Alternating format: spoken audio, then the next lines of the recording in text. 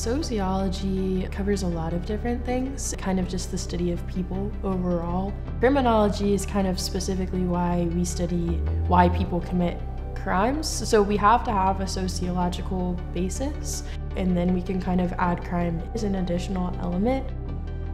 I chose criminology as a major because I knew I wanted to be a pre-law student and that law school was in my future.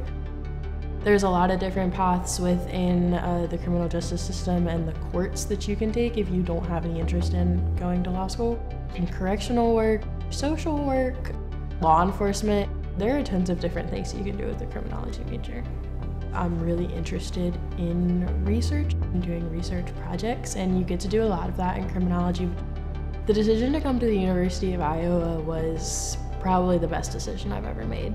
The people here are so passionate, everybody is so welcoming. I have learned so much. I've made lifelong friendships, and I've really learned a lot about this culture and this community, and I really think that there's no place better than here.